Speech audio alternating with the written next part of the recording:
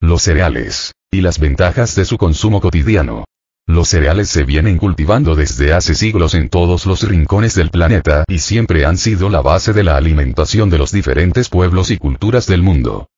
Los cereales son las semillas de las plantas gramíneas. Trigo, avena, cebada, centeno, arroz, maíz, mijo, etc. Todos aquellos que conservan su corteza son los llamados integrales, más ricos en minerales, vitaminas y fibras vegetales.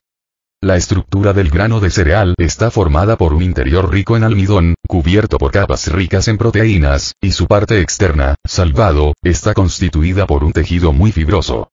En uno de los extremos se encuentra el germen, rico en proteínas, hierro y vitaminas del grupo B y vitamina E. Cuando se elaboran las harinas, tanto el germen como el salvado son eliminados.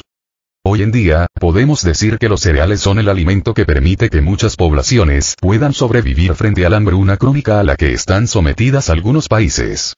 ¿Qué nutrientes aportan los cereales? Nada mejor que el pan o pasta elaborados con cereales. Equilibran la dieta, aportan energía y un mínimo de grasas. Hidratos de carbono. Siempre se sitúa a los cereales como fuente de hidratos de carbono complejos, olvidando siempre su buen aporte proteico. Contienen alrededor de un 75% de almidón, polisacárido formado por glucosa. La absorción del almidón es lenta y gradual, por lo cual los cereales aportan energía al organismo durante un largo periodo de tiempo.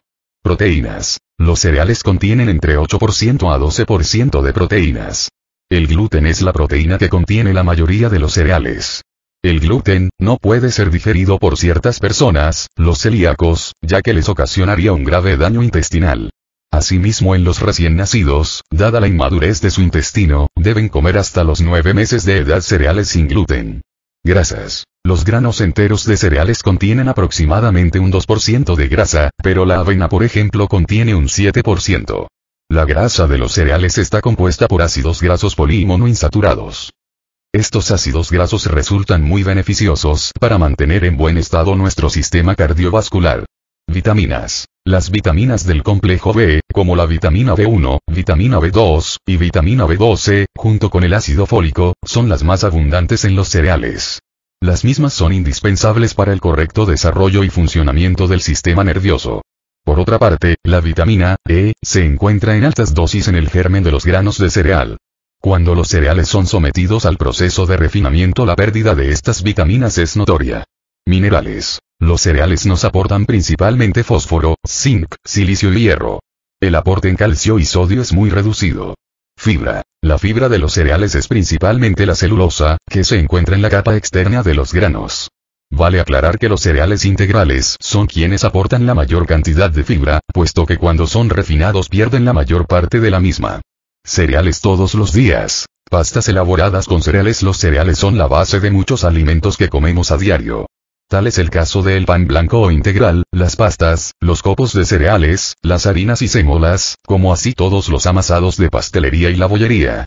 En los alimentos mencionados anteriormente existe una gran diferencia calórica, y la misma viene dada por la cantidad de grasa con que la bollería es elaborada. El producto final de los amasados y la bollería, lamentablemente contiene mucha grasa, y esta grasa es de origen animal, por lo cual el contenido de colesterol de estos alimentos es muy elevado.